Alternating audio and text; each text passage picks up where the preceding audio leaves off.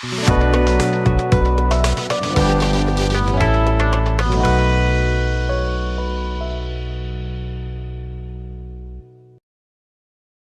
are in Kőszeg on the premises of the Institute of Advanced Studies, uh, uh, and uh, we have just listened to a presentation by Professor Ulrich Schlie from the University of Bonn.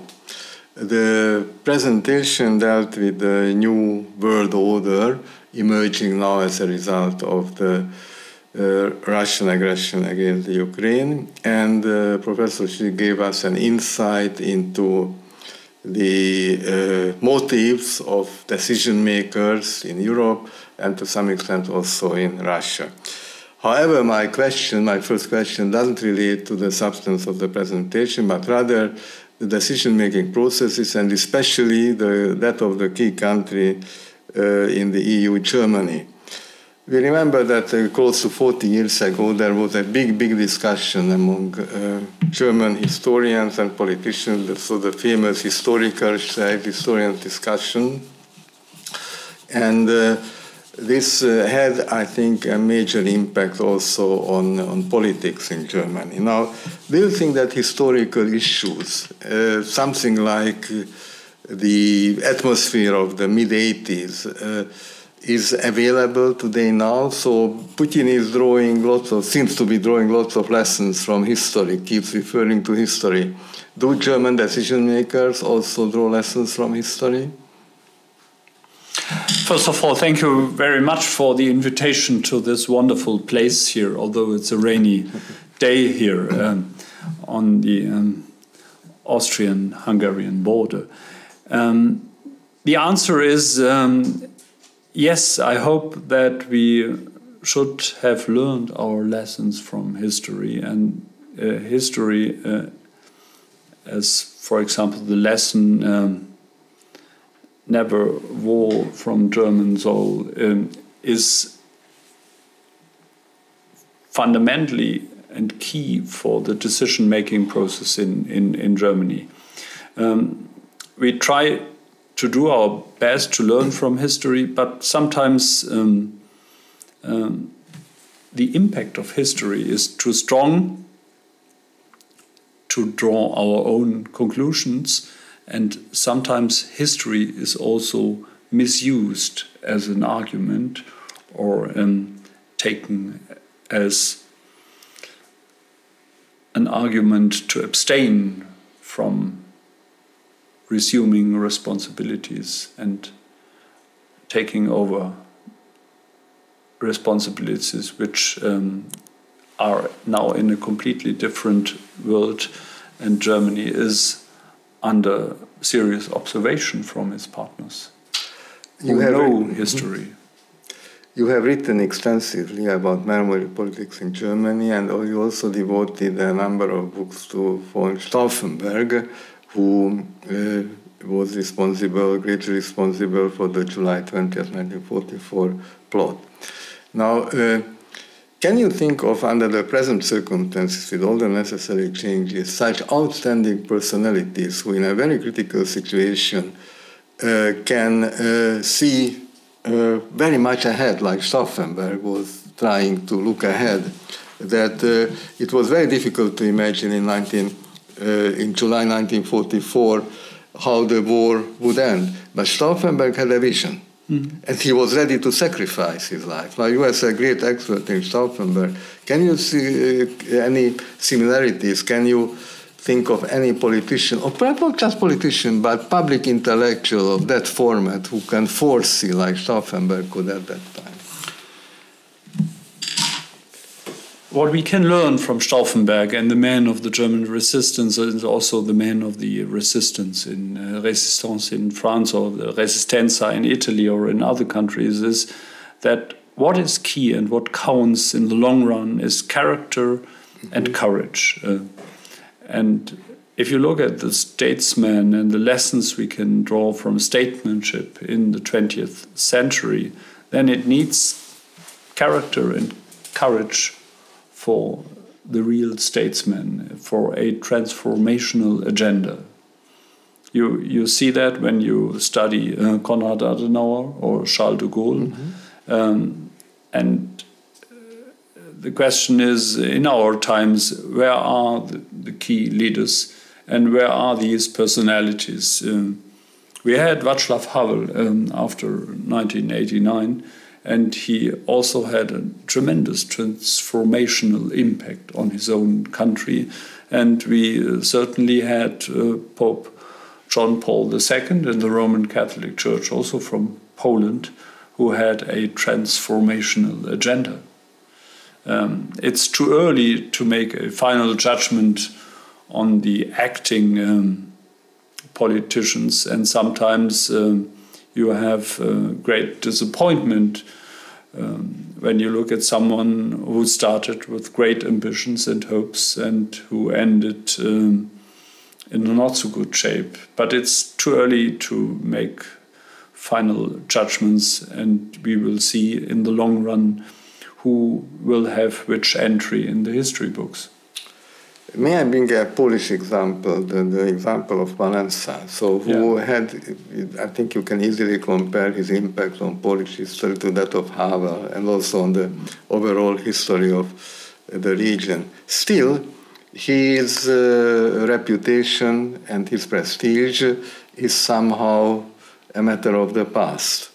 So, he, uh, so there are uh, personalities who are very successful for a while and then, and as a result of the changing circumstances, they have no impact anymore. He could mobilize 10 million people or so with Solidarność, and uh, by now he's not considered to be such a decisive personality. You, you might have observed that I did not put uh, Lech Walesa in the line of those who whom I mentioned. As I said, it's it's about character and and, okay. and, and courage. And there's also uh, the moment of history. Um, uh, Gorbachev was the man of the year in, in the Time magazine of mm -hmm. the year 1990. And he certainly had uh, a somewhat revolutionary approach. Uh, but um, when you judge Gorbachev in history, and then you have to look at his whole career and also the role he played in, in, in Russia in, in the last couple of years and his early career as well. But may I use this uh, argument of yours now in connection with Putin? Because mm -hmm. Putin has also uh, held uh, the uh, post-Soviet uh, transform has played an important role in the post-Soviet transformation, and for a while seems to have stabilized uh, Russia.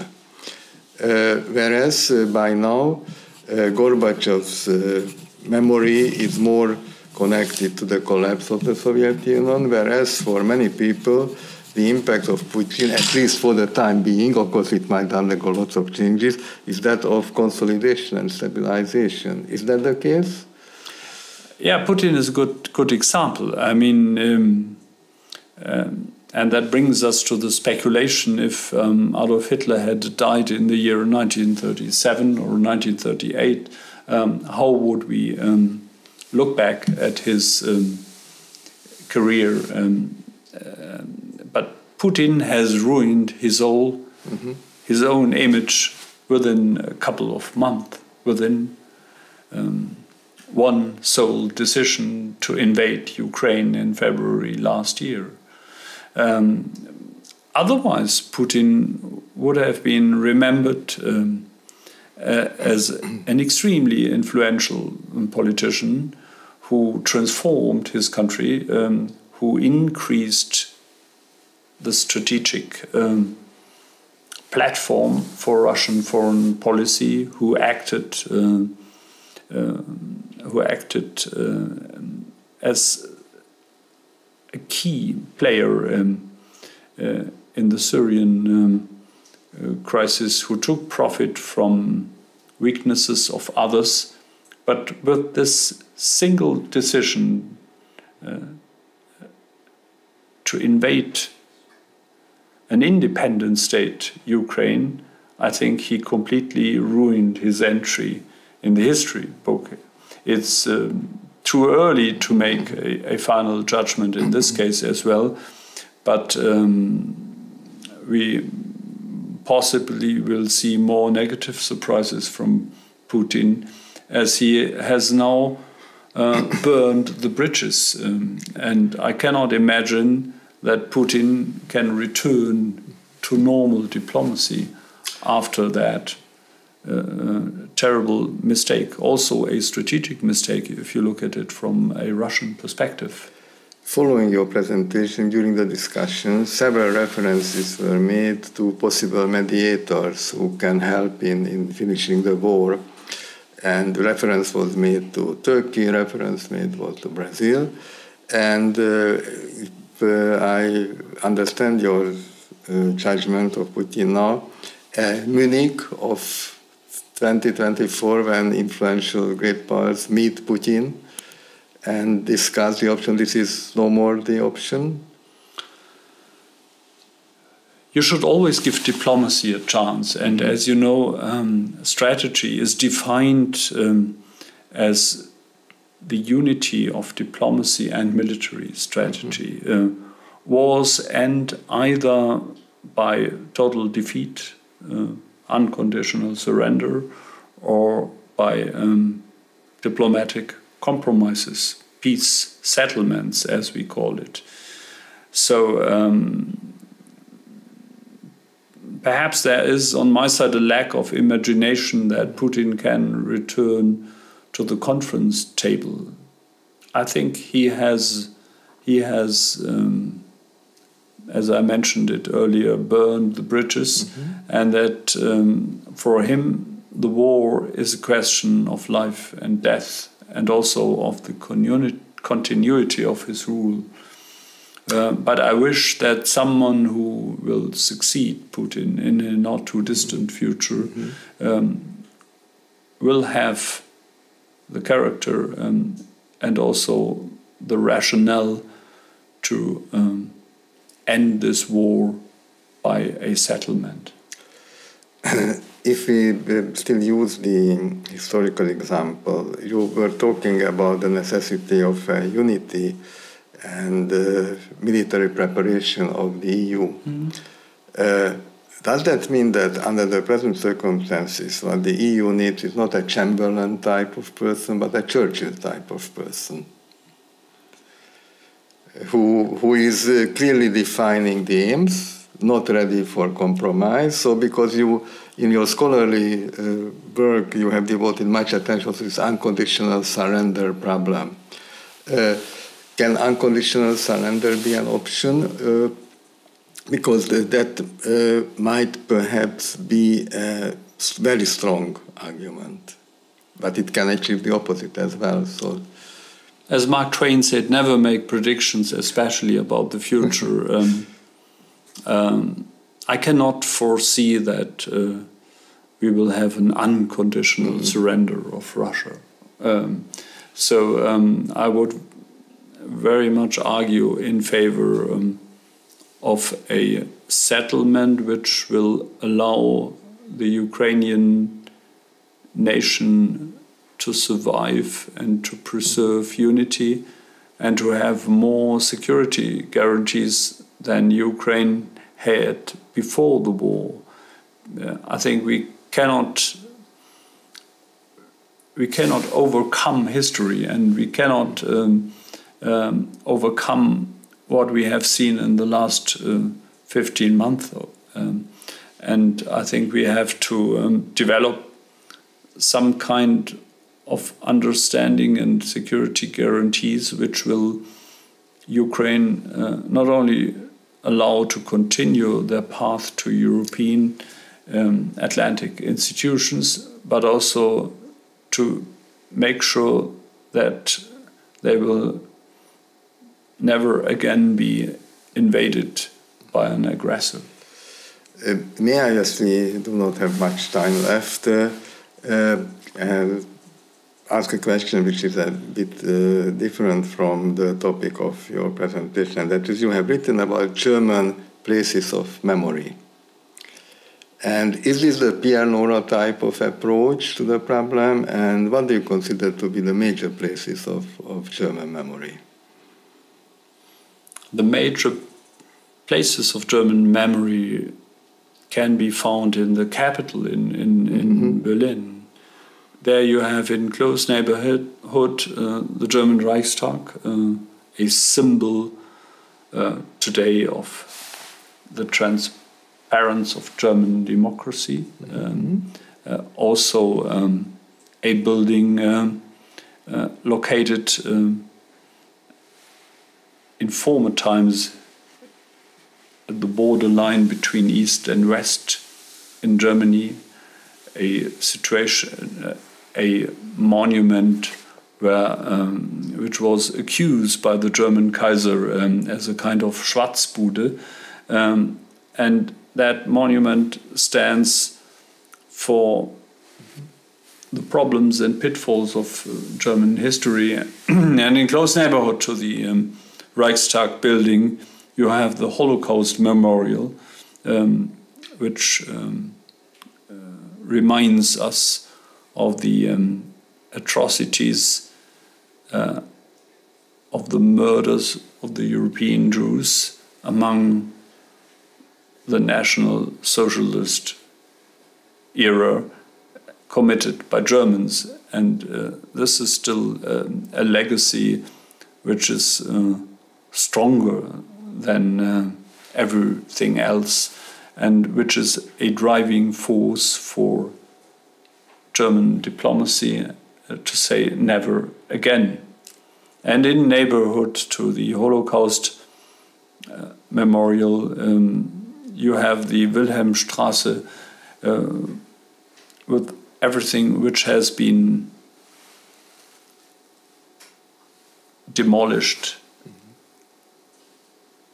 by air power in uh, World War II and you have so many um, so many uh, remembrance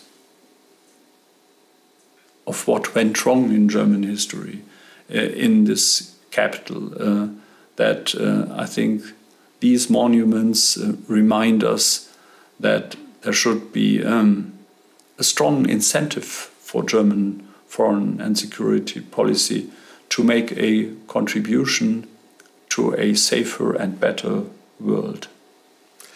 Uh, then you are speaking about uh, places, uh, memorial places of German history. You would limit it to Berlin, or uh, are there any other monuments in any other uh, major uh, German town that you would consider to be symbolic of, of Germany? No, Germany is a federal is a federal country, and when you go to Munich and look at the traces of the National Socialist Braunes House in Munich, and uh, when you look at also um, the memories of the uh, uh, Bavarian past of King Louis I and his um, admiration for uh, the Greek um, uh, period, um, when you look at um, the Paulskirche also um, in Frankfurt, um, which stands for the democratic tradition of the German parliament, but also for um,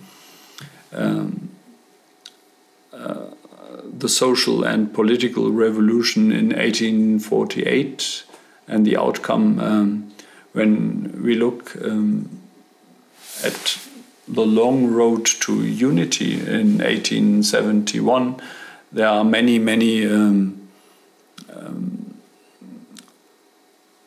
leftovers uh, when you look at the so called Bismarck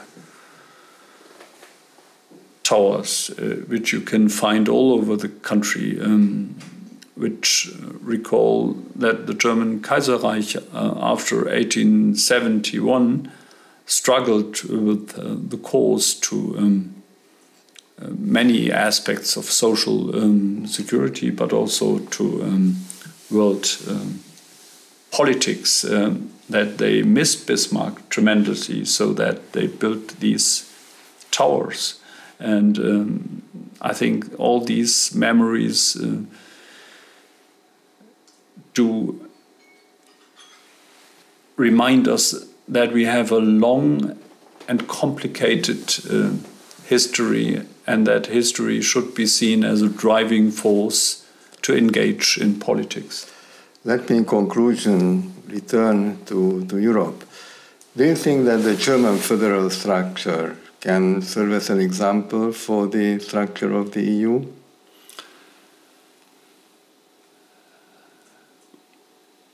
My piece of advice would always be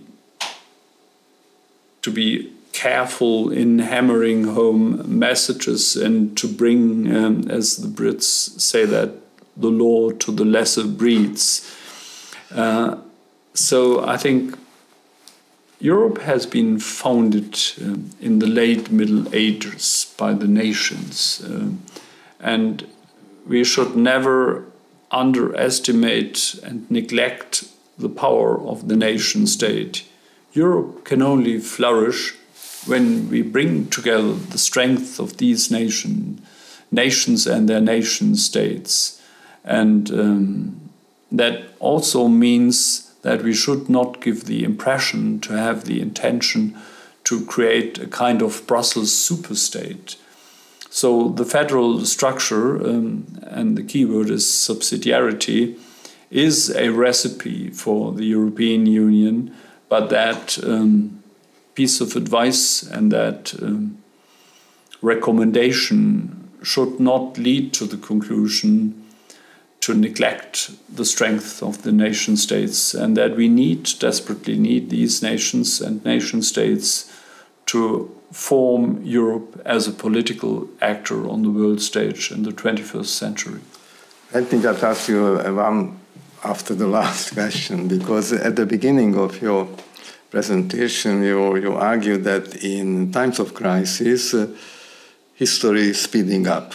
Mm -hmm and uh, things that uh, were uh, an open question for years or decades seem to be, or at least seem to be, or are perceived as if they had been solved.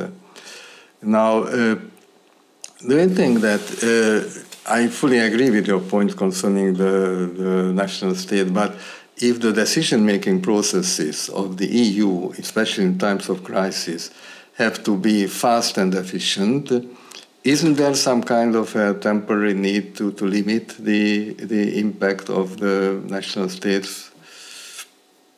Yeah, but can you allow me uh, mm -hmm. the question? Can you imagine um, a Hungarian stamp of approval to majority voting when it comes to question of defense and national security. I think it's it's quite an illusion to think that majority voting can be um, can be used for um, every issue when it comes to such um, critical questions as defense and national security. So thank you very much. I think uh, we had a very interesting presentation about the changing world order and the role of Europe in this uh, new world order. And thank you very much also that within the framework of this conversation for putting it into a broader historical context. Thank Thanks so much for the invitation and for um, your interest and all the best. Thank you very much.